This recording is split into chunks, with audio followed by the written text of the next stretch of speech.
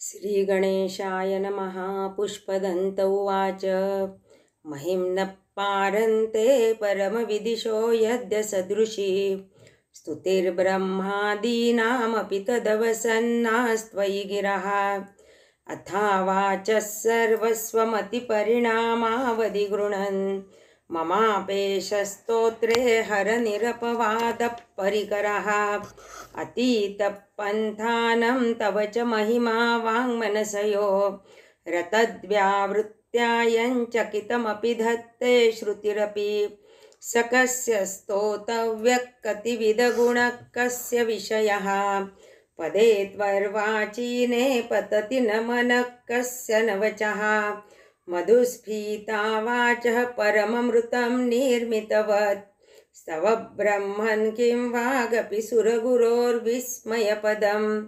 मम त्वेतां वाणीं गुणकथनपुण्येन भवतः। पुनामीत्यर्थेऽस्मिन् पुरमथनबुद्धिर्व्यवसिता। तवैश्वर्यं यत्तज्जगदुदयरक्षा प्रलयकृत् त्रयी वस्तु व्यस्तं तिसृषु गुणभिन्नासु तनुषु। अभव्यानामस्मिन् वरदरमणीयामरमणिं विहन्तुं व्याक्रोशिं विददध इहैके जडधियः।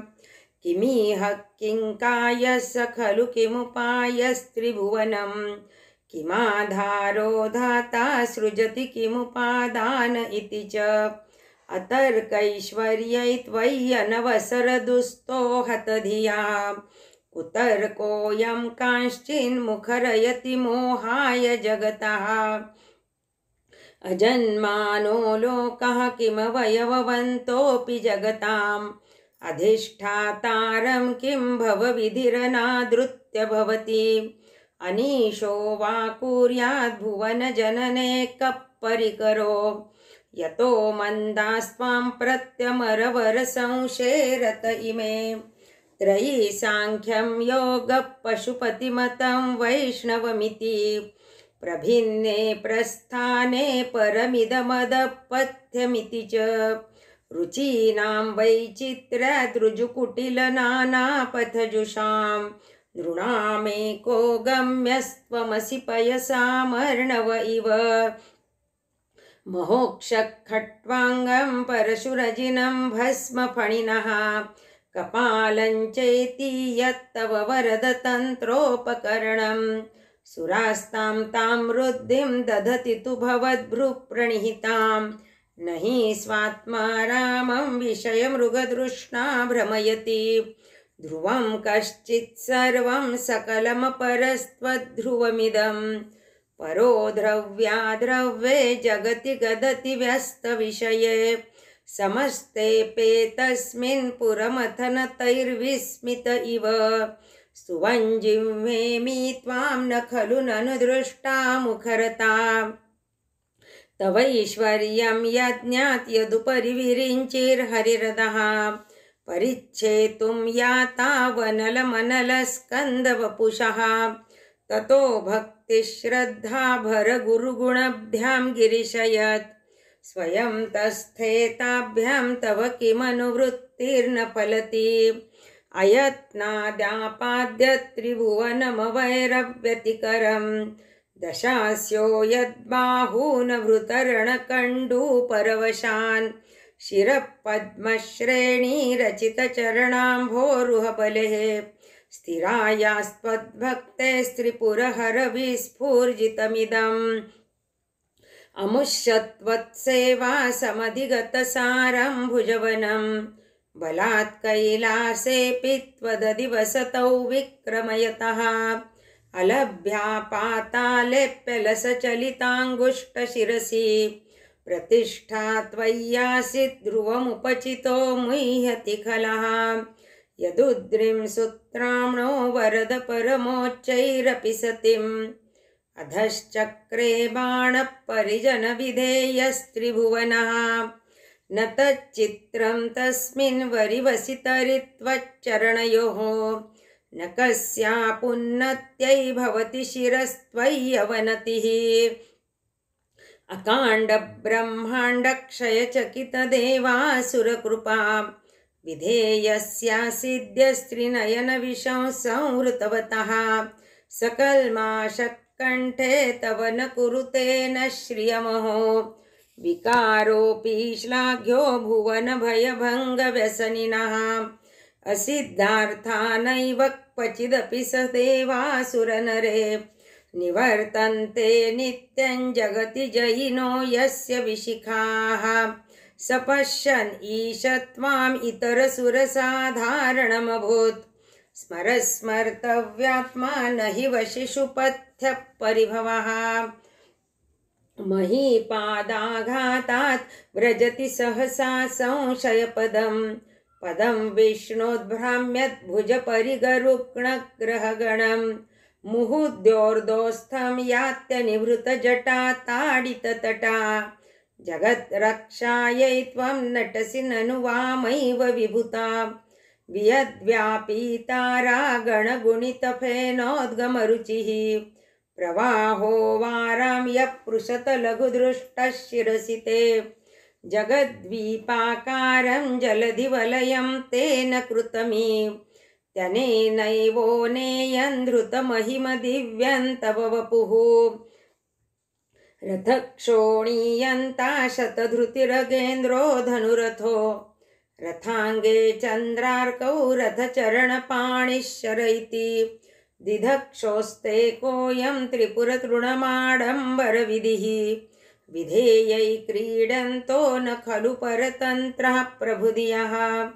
हरिस्ते साहस्रं कमलबलिमाधाय पदयोः यदेको नेतस्मिन्निजमुदहरन्नेत्रकमलं गतो भक्त्युद्रेकपरिणतिमसौ चक्रवपुषां त्रयाणां रक्षायै त्रिपुरहरजागर्ति जगतां क्रतौ सुप्ते जाग्रत्वमसि फलयोगे क्रतुमतां वकर्मप्रध्वस्तं फलति पुरुषाराधनमृते अतस्त्वां सम्प्रेक्ष्य क्रतुषु फलदानप्रतिभुवं श्रुतौ श्रद्धां बद्ध्वा दृढपरिकरः कर्मसु जनः।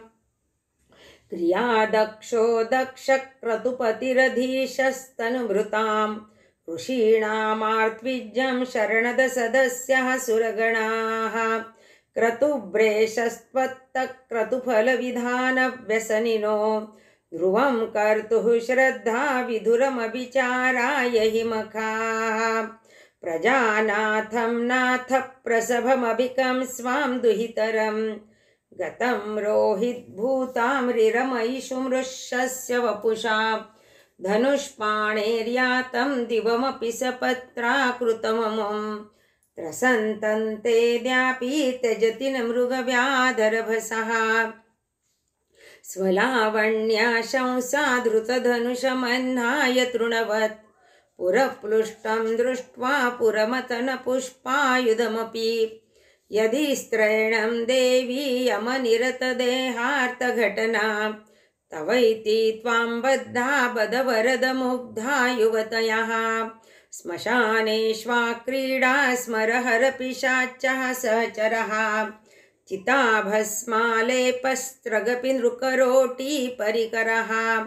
अमङ्गल्यं शीलं तव भवतु नामैवमखिलं। तथापि स्मर्तॄणां वरद परमं मङ्गलमसि। मनप्रत्यक्चित्ते सविधमवधायात्तमरुतः। प्रवृषद्रोमाणप्रमदसलिलोत्सङ्गितदृशः यदा लोक्यालादं हृद इव निमज्जामृतमये दधत्यन्तस्तत्त्वं किमपि यमिनस्तत् किल भवान्। त्वमर्कस्त्वं सोमस्त्वमसि पवनस्त्वं हुतवः। स्वमापस्त्वं व्योमत्वमुदरणिरात्मा त्वमिति च। परिच्छिन्नामेवं त्वयि परिणता बिभ्रति गिरं न विध्वस्ततत्त्वं वयमिह तु यत्त्वं न भवसि। त्रयीतिस्त्रो वृत्तिस्त्रिभुवनमथो स्त्रीनपि सुरान्। अकाराद्दैर्वर्णे स्त्रिभिरभिधत्तीर्णविकृतिः। तुरीयन्ते धामध्वनिभिरवरुन्धानमणुभिः। समस्तं व्यस्तं त्वां शरणदगृणात्योमिति पदम् भवः शर्वो रुद्रः पशुपतिरथोग्रः सह महांस्तथा भीमेशानाविति यदभिधानाष्टकमिदम् अमुष्मिन् प्रत्येकं प्रविचरति देवश्रुतिरपि। प्रियायास्मै धाम्ने प्रणहितनमस्योऽस्मि भवते। नमो नेदिष्ठाय प्रियदवदविष्ठाय च नमो नमः क्षोदिष्ठाय स्मरहरमहिष्ठाय च नमः। नमो वर्षिष्ठाय त्रिनयनयविष्ठाय च नमो। नमः सर्वस्मै ते तदिदमिति शर्वाय च नमः। बहलरजसे विश्वोत्पत्तो भवाय नमो नमः। प्रबलतमसे तत्संहारे हराय नमो नमः जनसुखकृते सत्त्वोद्रिक्तो मृडाय नमो नमः। प्रमसि पदे निस्त्रैगुण्ये शिवाय नमो नमः। कृशपरिणति चेत्तक्लेशवशं क्वचेदं। क्व च तव गुणसीमोल्लङ्घिनी शश्वदृद्धिः। इति चकितममन्दीकृत्य मां भक्तिराधात्।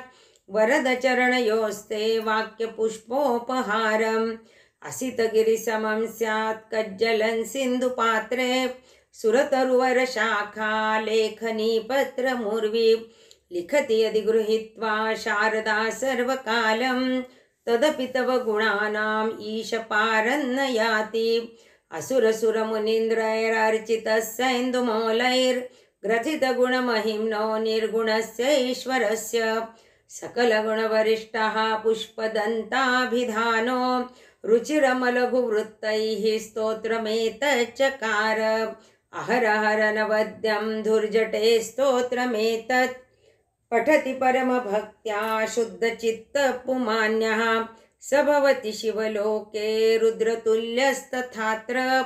प्रचुरतरधनायुः पुत्रवान् कीर्तिमाश्च। महेशान्नापरो देवो महिम्नो नापरा स्तुतिः अघोरान्नापरो मन्त्रो नास्ति तत्त्वं गुरोपदं दीक्षादानं तपस्तीर्थं ज्ञानं यागादिका क्रियाः महिम्नस्तव पाठस्य कलान्नार्हन्ति षोडशीं। कुसुमदशननामा सर्वगन्धर्वराजा शशिधरवरमौलैर्देवदेवस्य दासः स खलु निजमहिम्नो भ्रष्ट एवास्य रोषात्। स्तवनमिदमकार्षेत् दिव्यदिव्यं महिम्नः। सुरवरमुनिपूज्यं स्वर्गमोक्षैकहेतुं पठति यदि मनुष्यः प्राञ्जलिर्नान्यचेताः। व्रजति शिव शिवसमीपं किन्नरैस्तूयमानः। स्तवनमिदममोघं पुष्पदन्तप्रणीतम्। आसमाप्तमिदं स्तोत्रं पुण्यं गन्धर्वभाषितम् अनौप्यं मनोहारी शिवमीश्वरवर्णनम् इत्येषान् वाङ्मयीन् पूजा श्रीमच्छङ्करपादयोः। अर्पिता तेन देवेशः प्रीयतान्मे सदाशिव। तव तत्त्वं न जानामि कीदृशोऽसि महेश्वर यादृशोऽसि महादेव तादृशाय नमो नमः। एककालं द्विकालं वा त्रिकालं यः पठेन्नरः सर्वपापविनिर्मुक्तः शिवलोके महीयते। श्रीपुष्पदन्तमुखपङ्कजनिर्गतेन स्तोत्रेण किल्बिषहरेण हरप्रियेण कण्ठस्थितेन पठितेन समाहितेन सुप्रीणितो भवति भूतपतिर्महेशः। इति श्रीपुष्पदन्तविरचितं श्रीशिवमहिम्नस्तोत्रं सम्पूर्णं श्रीसाम्ब सदाशिवार्पणमस्तु